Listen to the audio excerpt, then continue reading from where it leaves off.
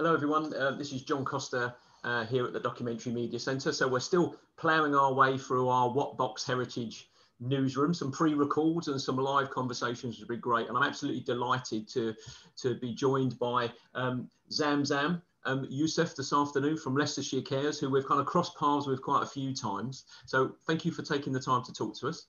Thank you for having me, John. It's brilliant, lovely. Thank you. It's, it's excellent you've taken the time. We're absolutely delighted about it. Yeah. Now, the, the, first thing I want to ask, because I'm absolutely fascinated by this, is you actually have a title of a Heritage Development Officer. So just tell us a little bit about that, because I was so so uh, surprised by your yeah. by your title.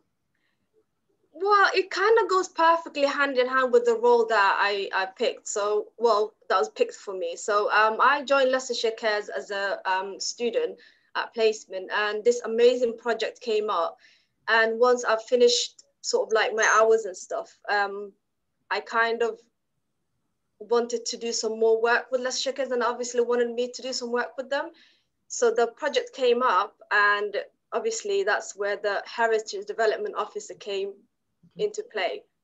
That's great because again it's like it's you've kind of got into doing something that you were interested in and then like the why heritage kick the dust project came along at the right time? Yes it has yes. Absolutely yes.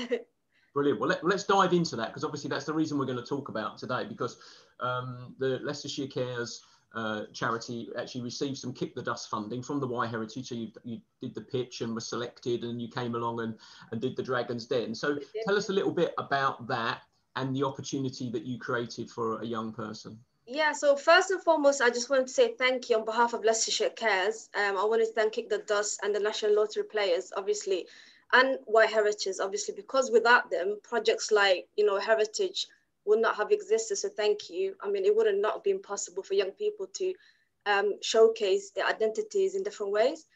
So um, in terms of, um, we kind of called our project Taking Hold of Our Heritage, uh, which is aimed to address the stigma surrounding uh, being a care leaver. So pretty much about their identities and lived experiences. And we kind of wanted to give the power to the young people um, so that they can, you know, tell their stories the way they want it to be heard. So that, that was sort of like idea behind it. And um, during the project, we kind of um, investigate complex nature of identity and we co-produced, obviously with the young people, uh, art, artifacts, so like creative writing, poetry, things like that. Um, and photo voices, photographs and stuff. And we've, I, I believe like it's, it's been an amazing journey to be honest. And seeing the young people from the start to the end of the project has been amazing. And I believe not only did it change the young people, it changed, you know, the staff members that was working with those young people as well. It was a journey of self-discovery for all of us that's that's amazing because it's it's it's a sector as well, isn't it? That is um, often talked about in the media, sort of those yes. in care and care leavers. Um, so therefore, it comes with a certain um, stereotype, probably a certain stigma as well. Yes. Yep. And so this really was an opportunity to give the the the, the, the creation the young, to the young people themselves to be able exactly. to say, well, this is us, this is who we are, and this is what exactly. we, we like and what we do. Absolutely, yeah, absolutely. That's what we wanted to do. And not only that, um, we had two apprentices, um, obviously giving back to and creating opportunities for young people. We had two young apprentices, apprentices Casey and Lauren, who mm-hmm. obviously played a key role in developing and delivering the project, and also gained themselves, uh, um, you know, key skills that they could develop during the time, which is like research skills, interviewing skills, facilitating skills, and they kind of worked very closely um, themselves and with other young care leavers. So we work with them closely to identify their skills and the areas that they wish to improve um, sort of and develop further. So that was amazing to see, you know, when Lauren and Casey joined us from the beginning to where they're at now. I mean, uh, Casey has actually gone back to uni and she's advocating, she's a care leaver herself. She's an wow. amazing young person. So, you know, it, it, it's, it's, it has been really a good privilege and an honor, honor to have those two involved in our project. I mean, from, from your point of view, did you find that the young people um, had never really been asked about heritage or what it was or what it represented to them? People just kind of naturally assumed that they wouldn't be interested. and then the conversations that were being facilitated suddenly it was like well i want to do this and i want to do that and of course all of those things come under community media heritage yes, cultural identity stuff like that didn't they? So you know perceptions. It's about challenging perceptions really isn't it? Oh yes absolutely. I mean um, i do believe that yeah yeah, to be true. And it you know it hasn't been really difficult to attract young people to uh, taking part of the heritage. And you know, it shows that once we started facilitating those conversations, that they had loads of information, loads, loads of experience and knowledge to give. Because then it is about their lived experience and who's better, not, you know, to tell than themselves. So that was quite amazing. Uh, and we are, you know, at Leicestershire Cares, we strongly believe that lived experiences and voices of young children and young people should be the central guide um, to our work with young people. So we do that is sort of um, you know our ethos and values as well. Uh, and we are aware that at times, um, you know, such efforts can be tokenistic in, in different projects and whatnot, uh, which is why we favor co-production model and where young people are actively in, uh, encouraged and supported, you know, to be um, rather be creators rather than consumers. So that's where the ideas for the projects are made hence why um, I believe was a great success that you know we had that understanding with the young people.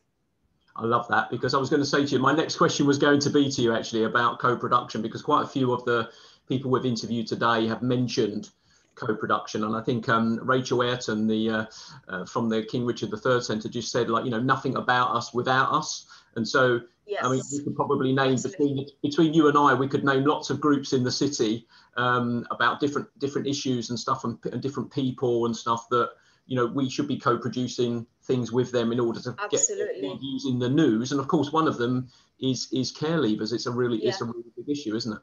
Yeah, yeah, because they are they they should be a big part of you know what they want to say and how they want to say it.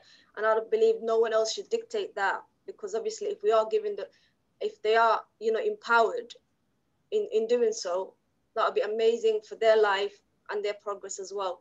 And also, you know, discovering themselves and, and their identities as well. Now, um, we're doing some work at the moment with the Somalian Development Service around young girls and sort of, you know, using smartphones to interview some of their the elders. They call them CCTV, so they're kind of like they said the pass from their mum through to their through to their aunts and other people's mums. Did you find that there was any intergenerational stuff that um came through on um that came through when you were doing it? Well, um, we, we we did have because they had to go out there, and we made a connection uh, to an allotment which is based in Braunstone. That has been really amazing because obviously with COVID, it was quite difficult to carry on things um, online. So uh, we had to be creative and agile. So what we did is we found an outdoor space, uh, which would have been great for young people to sort of like for their mental well-being as well to be outside. So we did create um, sort of we had elderly um, um, Asian ladies that sort of come there to um, to, to the allotment to do some some you know digging and stuff and planting and things like that. So we got the young people with That's right. so we we had we had yeah. So it, it has been amazing. We had um, they had talks and you could see them exchanging um, stories and things. Hmm. Um, and we had um, wood um, carving over there as well and cooking over fire. So we've gone back several times uh, mm. with young people, and I believe, and that that was amazing. I mean, to see the way they were communicating with each other, that was that was really good. Brilliant. So one thing, and, and, then I'll let you go. Um, just tell us what was um, one of the highlights for you of, of, of the projects, having the young people from the Wise um, Why Heritage projects. What do you what do you think was one of the highlights? I think the highlights of probably seeing the young people's journey of self discovery, transforming through you know this process of of project, and um, I suppose um, and seeing them how comfortable they are in their own skin after, and how they've grown in confidence as well, and how sure they are about themselves and what they want.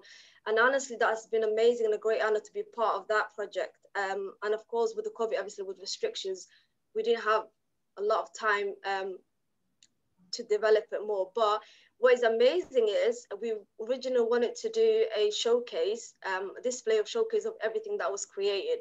Um, but unfortunately, we could not do that, obviously with the restrictions again. So we had to be creative, which means there's we have a book um, which is on the making at the moment uh, with everything that we have created with young people. And hopefully, when that comes out, it will end up going to care homes and children's homes and um, schools and youth youth places and things like that.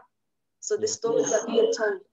Yeah, for me, that's one of the projects. Having seen the film and sort of seen yes. some of the products that the guys have managed to produce, that it's yeah. that kind of hopefully it'll act as an a, a, aspiration for other young young care leavers as well. Yes yes, those care to think about well actually if they can do that i can do that as well. So for me yes. that's that's one of the key things. Now yeah. as as as a, as someone that's observed what leicestershire care does throughout lockdown uh, on twitter prolific. You guys are absolutely prolific on twitter. You're always doing something. You're always asking questions getting people involved and stuff like that. So if anything i think you've raised your profile during covid during the lockdown, probably yeah. more than you would have done, which is great. And, and, I really hope that when you know when things start to open up again, that mm. you guys can um, get back to doing some of the great work that you do. Um, Definitely, you know, right, yeah. From, right from your CEO Kieran, right right down to the young yeah. people themselves. I, I mean, yeah.